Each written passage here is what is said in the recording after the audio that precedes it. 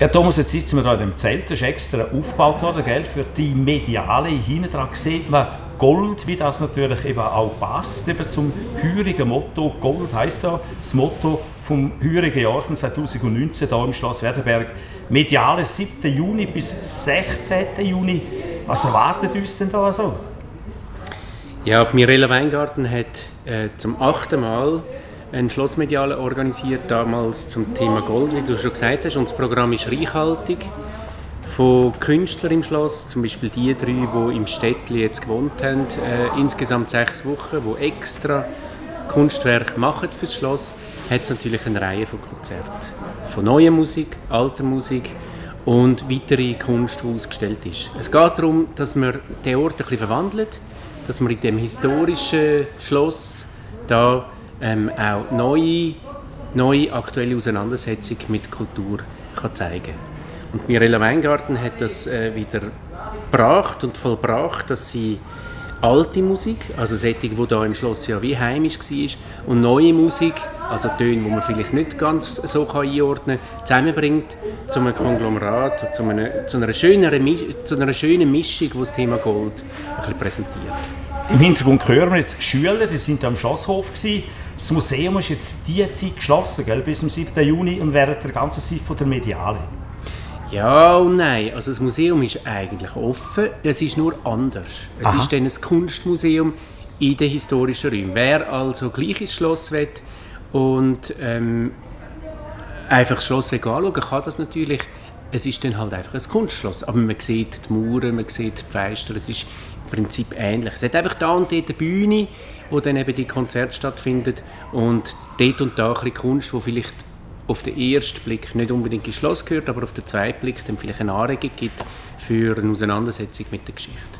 Jetzt sind wir an dem Zelt hinein, das extra aufgebaut worden. Das ist eins von zwei Zelten. Wenn man herkommt, jetzt auch schon ein Zelt. Also es ist nicht nur gerade Hören von Musik oder für Kinder Kindermediale oder Künstlergespräche oder Yoga oder Bogenschiessen, sondern es ist auch kulinarisch etwas möglich da, oder?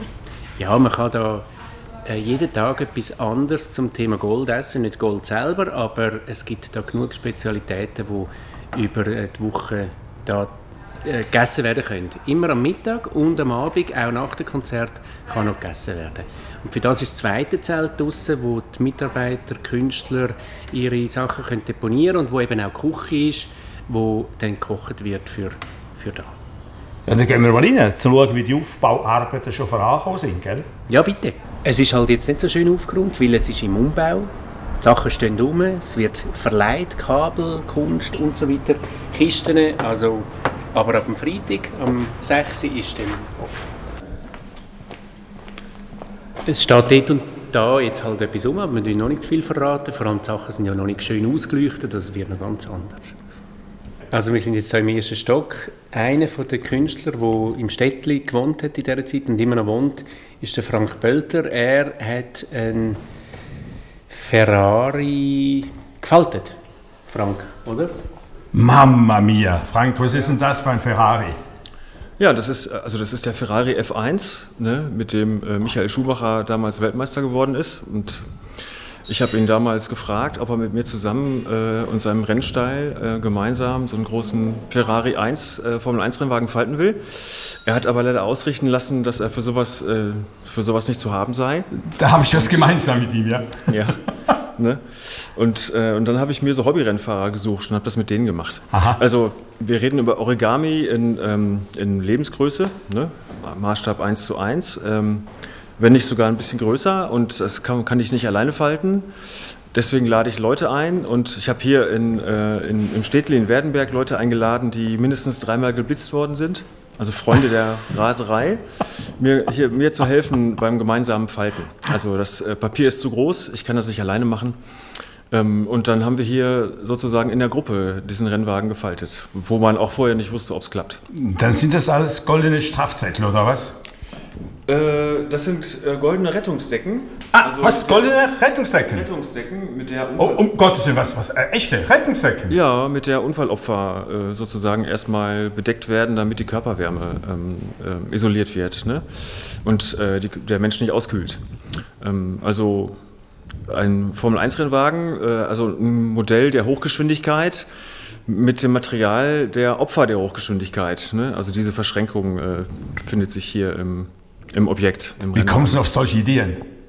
Das ist eigentlich ja. her im Schlaf, oder beim Autofahren, beim zum Schnellfahren? Ach so, ja, äh, mal hm? so, mal so. Wie komme ich auf solche Ideen? Also ich, ich bin ja ähm, Künstler geworden und ich glaube, das ist unser Auftrag, ne? die, äh, die Gesellschaft mit Ideen zu versorgen und Impulsen, ähm, äh, in welche Richtung auch immer. Ne? Dafür sind wir da, das ist unser Auftrag. Und natürlich, da muss man immer sehen, ist ein Schloss natürlich, ist eine Burg, oder wie man es will sehen. Also Plätze sind immer auch beschränkt natürlich, oder? Ja, das ist ja einerseits unsere Beschränkung oder unser Handicap, dass nur maximal 80 Leute ins Schloss können. Aber das ist auch das Schöne daran, man kann kleine Sachen machen, kleine Konzerte machen. Ähm, zum Beispiel am Montag, das weiß ich jetzt gerade so auswendig, findet das äh, Konzert, also am, ähm, am Pfingstmontag, ein, ein Konzert statt mit einer ganz alten, mit einem ganz alten Vorläufer vom heutigen Hackbrett äh, Salterio und das findet möglicherweise da oder ein Stock höher statt. Ist sowieso immer etwas Spezielles. Wie steht es da? Hast mit der Ausstaffierung, hast mit Licht, mit Strom, äh, Sicherheitsbestimmungen, ist das noch ein Problem oder lässt so etwas machen? Wir schauen schon, dass das eingehalten wird und wir haben Strom und Licht natürlich, aber das hat alles mit dem richtigen Abstand und mit der richtigen Einstellung ist das äh, gut, sind wir da gut unterwegs.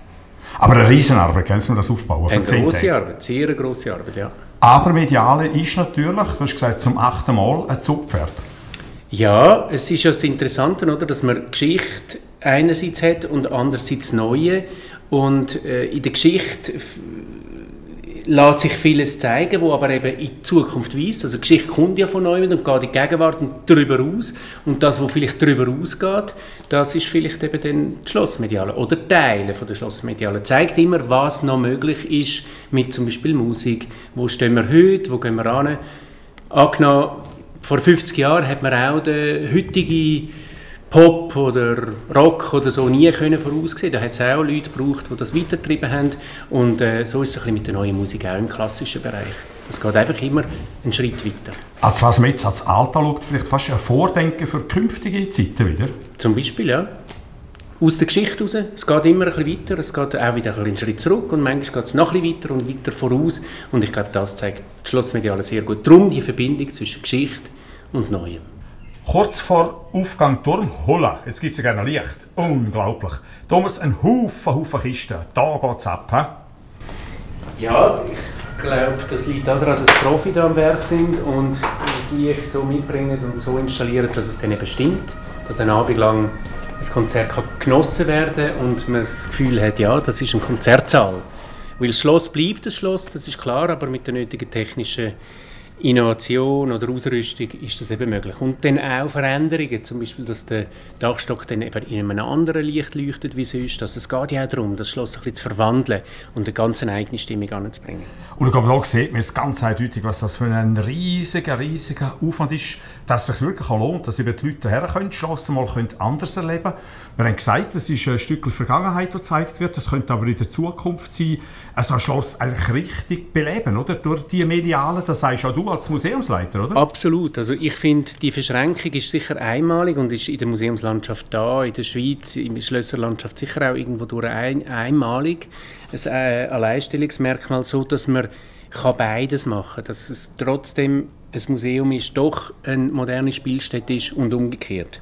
Ich lade alle ein, am Grande Finale, am Schluss der Mediale, dann draussen den Schlosshof zu geniessen und das Schloss so in ähm, in eine ganz andere Stimmung äh, gebracht zu werden mit dem Ensemble Konstantinopel. Ähm, ich glaube, das ist für alle etwas, wo es sogar gratis ist, aber jedes einzelne Konzert ist für ganz spezielle Interessen eben auch etwas. Es gibt auch eine Erzählabend Mit äh, am Mittwoch äh, von, der, von dieser Woche. Es gibt ähm, Konzerte mit lauten Tönen, es gibt Konzerte mit leislichen Tönen und manchmal ist man erstaunt, was man alles noch nicht weiß über die Musik. Und dann eröffnet einem etwas, was vielleicht total schräg ist, manchmal ganz neue Blicke und, und Welten in der Musik. Und eben auch für Kinder, es gibt Kindermediale, es gibt Bogenschüsse, es gibt alles Mögliche natürlich auch, gell? Ja, Kindermediale ist natürlich auch wieder passend. Gold heisst das Thema. Vielleicht kennt der eine oder andere das äh, Märchen vom, von der Fischer, vom Fischer und seiner Frau. Das, äh, das wird da aufgeführt.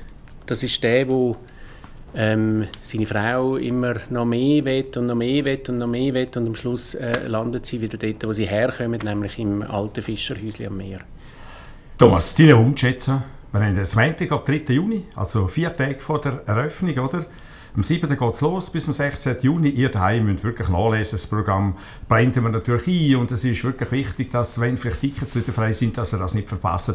Dein grösster Wunsch jetzt gerade so da vor Ort? Dass es eine gute Stimmung ist, dass die Leute kommen und das Schloss ganz anders äh, mal äh, kennenlernen und vielleicht sich auch einen Schritt reinwagen, wo sie denken, ja, ich habe zwar mit neuer Musik nicht viel am Hut, aber vielleicht ist das gleich etwas, wo mir einen neuen Blick eröffnet. Das fände ich sehr schön.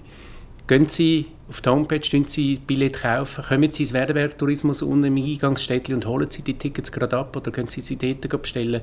Also ich glaube, es hat für jeden etwas letztlich.